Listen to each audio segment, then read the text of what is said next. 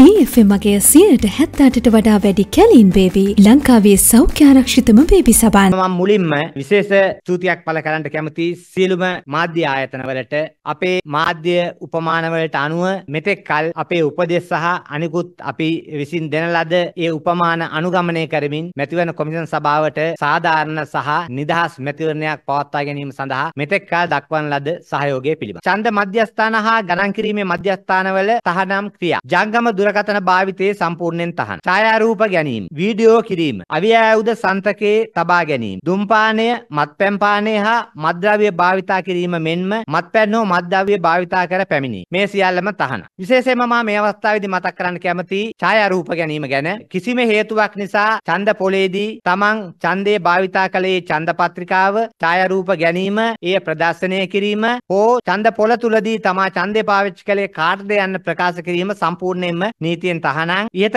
සඳහන් කරපු කරුණු ඡන්ද මධ්‍යස්ථාන තුල හා ගණන් කිරීමේ මධ්‍යස්ථාන තුල සිදු කිරීම සම්පූර්ණයෙන්ම තහනම්. ඊයේ මධ්‍යම රාත්‍රියේ සිට ඡන්ද විමසීම් දිනේ දක්වා නිහඬ කාලය ක්‍රියාත්මක වෙනවා. මේ කාල සීමාව තුල කිසිදු ප්‍රසිද්ධ රැස්වීමක් ප්‍රචාර කටයුත්තක් සිදු කිරීම සම්පූර්ණයෙන්ම තහනම්. මේ කාල සීමාව තුල කිසිදු විද්‍යුත් හෝ මුද්‍රිත මාධ්‍යයක හෝ සමාජ මාධ්‍යයක කිසිදු අපේක්ෂකයෙක් ප්‍රවර්ධනය හෝ අගතියට පත්වන කිසිදු ප්‍රචාර කටයුත්තක් සිදු කිරීමට හැකියාවක් නැහැ.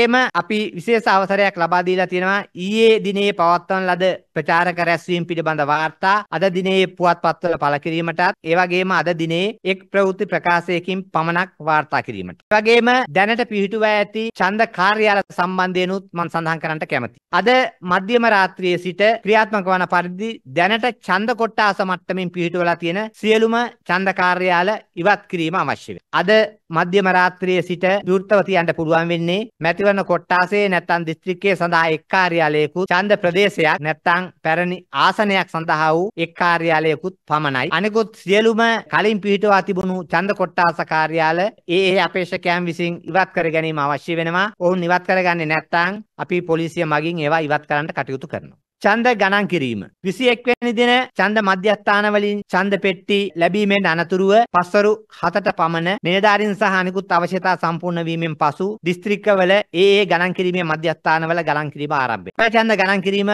පස්වරු 4:15ට පමණ ආරම්භ කිරීමට දැන්ට කටයුතු කරලා තියෙනවා. ගණන් කිරීම අවසානයේ අදාළ ප්‍රතිඵල ලැබුණු විගස ඒවා මාධ්‍යයට ලබා දීමට සියලු කටයුතු යොදලා තියෙන මේ වන විට ශේෂ ඉල්ලීමක් කරනවා නිල ප්‍රතිඵලය ලැබෙන තෙක් නිල නොවන ප්‍රතිඵල නිකුත් නිකුත් කිරීමෙන් වැළකී සිටින ලෙස. ඡන්දය ගණන් කිරීමේ ක්‍රමවේදය පිළිබඳවත් සඳහන් කිරීම සුදුසුයයි මා හිතනවා. පළමුව ගණන් කිරීම කරනු ලබන්නේ එක් එක් අපේක්ෂකයාට ලැබී ඇති ඡන්ද ප්‍රමාණය ගණනය කිරීම. එම ගණනය කිරීමෙන් අනතුරුව මේක දිස්ත්‍රික් මට්ටමින් ඒ සියලුම ගණන් කිරීම සිද්ධ වෙන්නේ. ඒක සිදු වෙනවා ඉස්සෙල්ලා ඡන්ද පෙට්ටිවල තියෙන ඡන්ද සංඛ්‍යාව ගණනය කරනවා. ඊට පස්සේ එක් එක් අපේක්ෂකයාට ලැබී තියෙන ඡන්ද ප්‍රමාණය ගණනය කරලා ඒක ඡන්ද ප්‍රදේශ මට්ටමින් සහ දිස්ත්‍රික් මට්ටමින් සකස් කිරීම සිදු කරනවා. ඒ ප්‍රතිඵලය මැතිවරණ මහලේකම් කාර්යාලයට ලැබීමෙන් පසුව මැතිවරණ මහලේකම් කාර්යාලයෙන් තමයි සමස්ත ප්‍රතිඵලය ගණනය කරනු ලබන්නේ. එයින් පසුව එහි නිවැරදිතාවය සම්පූර්ණයෙන්ම සනාථ කර ගැනීමෙන් පසුව කිසියම් අපේක්ෂකයෙකුට වළංගු ඡන්ද සංඛ්‍යාවෙන් 150ක් හෝ එකක් ලැබිලා තියෙනවද කියලා බලන්න. එහෙම ලැබිලා තියෙනවා නම් ඒ අවස්ථාවේදී ඡන්ද ගණන් කිරීමේ කටයුතු අවසන් වෙනවා. අපි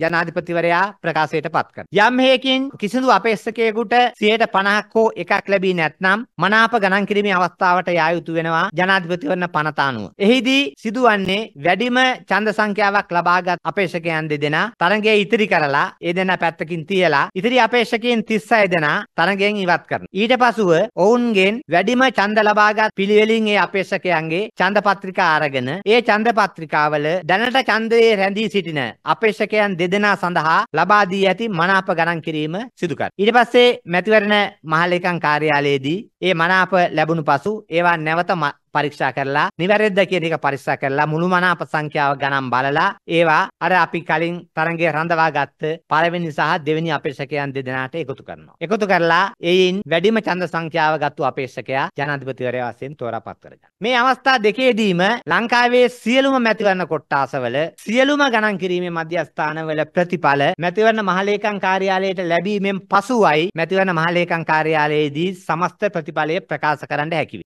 යම්කිසි ගණන් කිරීමේ මධ්‍යස්ථානයේ කෝ දිස්ත්‍රික්කයක ප්‍රතිඵලයක් යම් ප්‍රමාදයක් වුණත් අපිට බලාගෙන ඉන්න වෙනවා ඒක ලැබෙනතු. ඒ නිසා ප්‍රතිඵල ලබා දෙනතුරු ඉවසීමෙන් කටයුතු කරන ලෙස සියලු දෙනාගේම ඉල්ලා සිටිනවා ඡන්ද පොලක යම් කඩාකප්පල්කාරී ක්‍රියාවක් සිදු වුණොත් ඒ ඡන්ද පොලේ ඡන්ද ස්ථානාධිපතිවරයාගේ වාර්තාව අනුව එහි ඡන්දය ශූන්‍ය කිරීමට අවශ්‍ය වුවහොත් ඒක ශූන්‍ය කරන්න කටයුතු කරනවා මැතිවරණ කොමිෂන් සභාව. ඒ සමස්ත ඡන්ද ප්‍රතිඵලයට බලපානවා නම් ඒ ශූන්‍ය කරපු ඡන්ද මධ්‍යස්ථානවල ප්‍රතිඵලය නැවත ඡන්ද විමසීමක් පවත්වලා ඒ ඡන්ද පොළවල ඡන්දය පවත්වා අවසන් කරන තුරු සමස්ත ඡන්ද ප්‍රතිඵලය නිකුත් කිරීමට හැකියාවක් ලැබෙන්නේ. ඒ නිසා මම විශේෂයෙන් ඉල්ලා සිටිනවා ඡන්ද පොළවල් අසල ගැවසීමෙන් ප්‍රචණ්ඩ ක්‍රියා ක්‍රියා කිරීමෙන් ඡන්ද විමසීම කඩා කප්පල් කිරීමෙන් වළකින ලෙස. අපි බලාපොරොත්තු වෙනවා 22 වෙනිදා මේ කටයුත්ත අවසන් කරන්න.